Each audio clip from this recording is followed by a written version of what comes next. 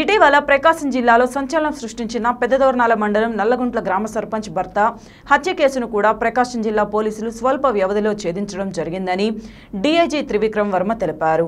మొద్దు వెంకటేశ్వర్లు బైరబోయిన వెంకటేశ్వర్లు ఇద్దరు దగ్గర బంధువులు. అయితే గత ఏడాది జరిగిన గ్రామ పంచాయతీ ఎన్నికల్లో మృతుడు మొద్దు వెంకటేశ్వర్లు భార్య నాగలక్ష్మి అధికార వైఎస్ఆర్సీపీ తరపున పోటీ చేయగా బైరబోయిన వెంకటేశ్వర్లు భార్య మల్లేశ్వరి వైఎస్ఆర్సీపీ రెబెల్గా పోటీ చేయగా మల్లేశ్వరిపై నాగలక్ష్మి గెలుపొందడం జరిగిందని అప్పటి నుంచి వీరిరువురు మధ్యన గొడవలు జరుగుతూ ఉన్నాయని వీరిరువురు ఒకరిపై ఒకరు కేసులు పెట్టుకొని కోర్టుల చుట్టూ తిరుగుతూ ఉన్నారు.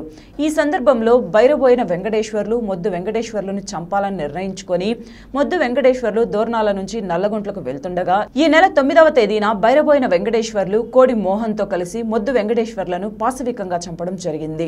మృతుడు మొద్దు వెంకటేశ్వర్లు తండ్రి మొద్దు రాములు ఫిర్యాదు మేరకు విచారణ చేపట్టిన పెద్దదోర్నాల పోలీసులు విచారణ చేపట్టి బైరబోయిన వెంకటేశ్వర్లు కోడిమోహన్లను అరెస్ట్ చేయడం జరిగిందని త్రివిక్రమ్ వర్మ తెలిపారు. ఈ హత్యను స్వల్ప వ్యవధిలో ఛేదించిన పోలీసులను డీఐజీ త్రివిక్రమ్ వర్మ అభినందించారు. పరిధిలో తొమ్మిది ఫిబ్రవరిన ఒక డెడ్ బాడీ మనకు ఐడెంటిఫై కావడం జరిగింది. దీంట్లో ఇది నల్లగుంట్ల విలేజ్ సర్పంచ్ హస్బెండ్ అతను మొద్దు వెంకటేశ్వర్లు. ఇతను ఇతన్ని చంపడం జరిగింది. ఇతని డెడ్ బాడీ మనకు దోరణాల బా- లిమిట్స్లో విలేజ్.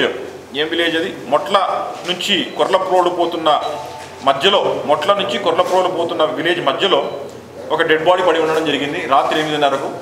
ఆ డీటెయిల్స్ వెళ్తే సింపుల్ మర్డర్ కేసే మనకిది. ఇది రెండు కూడా రెండు గ్రూప్స్ మధ్యలో గొడవ జరగడం జరిగింది. ఈ యొక్క గ్రడ్జ్ పెంచుకొని ఎందుకంటే తన మదర్ని కొట్టింది తర్వాత ఎలక్షన్స్లో ఓడిపోయింది. ఈ కారణాలన్నీ పెట్టుకొని ల్యాండ్ డిస్ప్యూట్లో ఉన్న కారణాలన్నీ కూడా సంబంధించి వీళ్ళు ముగ్గురు కలిసి మోహన్ ఒకడు అంజీ ఒకడు. తర్వాత ఈ యొక్క మద్దు వెంకటేశ్వర్లు ఆ, ఈ యొక్క బరిపోయిన వెంకటేశ్వర్లు ముగ్గురు కలిసి ఈ మద్దు వెంకటేశ్వర్ని అతన్ని హత్య చేయడం జరిగింది.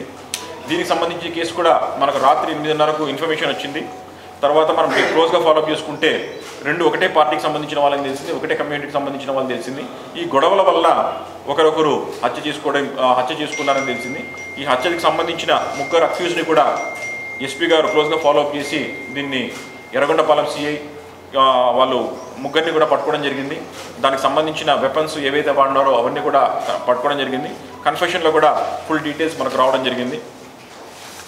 సో ఈ కేసుని కూడా ఎక్కువ ఎక్కువసేపు నాంచకుండా ఇమీడియట్గా డిస్కస్ ఇమీడియట్గా ఇన్వెస్టిగేట్ చేసి లాజికల్గా తీసుకొచ్చి కంక్లూషన్ తీసుకొచ్చి కేసుని డిటెక్ట్ చేసినందుకు ఎర్రగొండపాలెం సిఐ తర్వాత డిఎస్పీ తర్వాత ఎస్పీ గారిని కూడా అభినందించడం జరుగుతుంది. They have done a good job in detecting the case at the earlier